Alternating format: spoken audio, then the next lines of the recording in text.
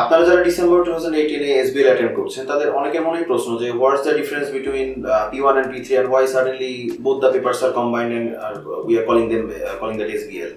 তো এসবিএল হচ্ছে P one এবং পি থ্রির combined version but the assessment style exam style এবং the way you study the paper is completely different from it was previous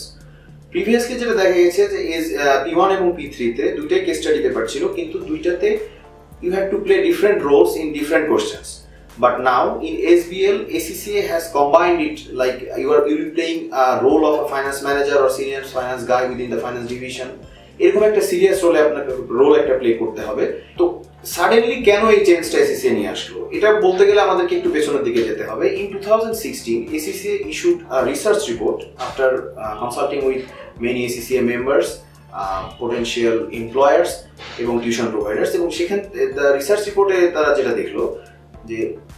now it is employers are looking for they are not looking for just a mere accountant rather they are looking for a business leader who can contribute in formulating business strategies at the same time যে কিনা risk management procedure policy নিয়ে কাজ করতে পারবে and combining all his capabilities and experience a business can grow successfully and from that perspective SBL is launched তো SBL এ আমাদের ক্লাসে আমি যদি বলি ক্লাসে কিন্তু it's not about just memorising the business models memorising theories nothing like that business models theory এগুলো লাগবে বাট এই বিজনেস মডেল এবং থিওরিগুলোকে মাথায় রেখে আমাদেরকে প্র্যাকটিক্যাল ওয়ার্ল্ডের যেসব সাকসেসফুল কোম্পানিজ আছে how they are pursuing their strategies what business policies are making them successful everyday এইসব ব্যাপার আমাদেরকে জানতে হবে এবং এই জন্য আমাদেরকে আউটসাইড অফ দ্য বুক আমাদেরকে অনেক পড়াশোনা করতে হবে এবং সেগুলো ক্লাসে আমরা বলব বিভিন্ন বিজনেস জার্নালস ঘাটাঘাটি করতে হবে ওয়েবসাইটে যেতে হবে websites like business insiders website like Bloomberg এসব নিয়ে আমাদেরকে পড়াশোনা করতে হবে তো জাস্ট ছোট্ট একটা গল্প বলি You all know about Amazon, right? Amazon is one of the most successful and richest companies in the world currently. তো অ্যামাজনের যিনি founder mister Jeff Bezos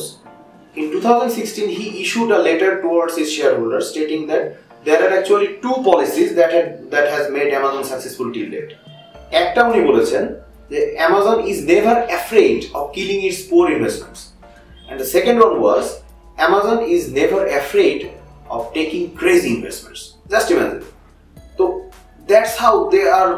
being successful. But এই দুটা কথা আমরা কি বুঝি যে they had